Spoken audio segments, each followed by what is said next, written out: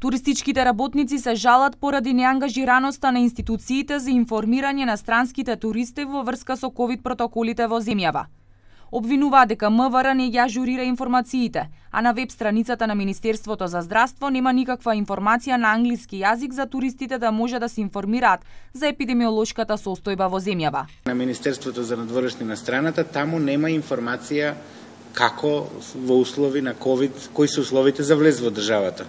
Значи на англиски немаме никаква информација. Имаме на англиски информација за македонци кога патуваат надвор, ама ако забележите и тие се од ноември стари е, информации. Значи сега сме јули. За подобрување на состојбата, освен силна промоција особено во регионот, Сдруженијето предлага и поддршка за воздушниот собраќај како и гратис паркинг за сите странски возила и автобуси. Бидејќи бевме подолго време во црвена зона, на земји кај што не се препорачува да се патува, не направивме доволна промоција и доволна, да кажам, директна дипломатска офанзива да се контактира тие а, туроператори. Од Сдруженијето на угостители и туризам при Стопанската комора на Северна Македонија вела дека земјава не ги губи само туристите, туку и позициите како туристичка дестинација.